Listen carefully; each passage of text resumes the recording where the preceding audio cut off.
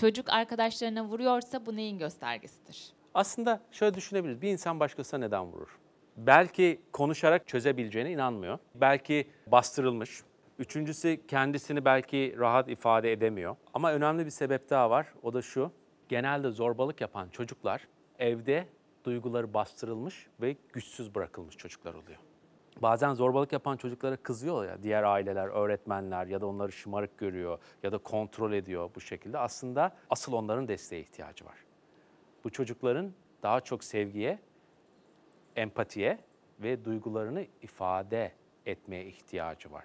Zorbalığın altında yatan temel sebeplerden en önemlisi bu. Sonra kendini ifade edememe, problem çözememe. Çünkü konuşarak çözebilirsiniz, değil mi?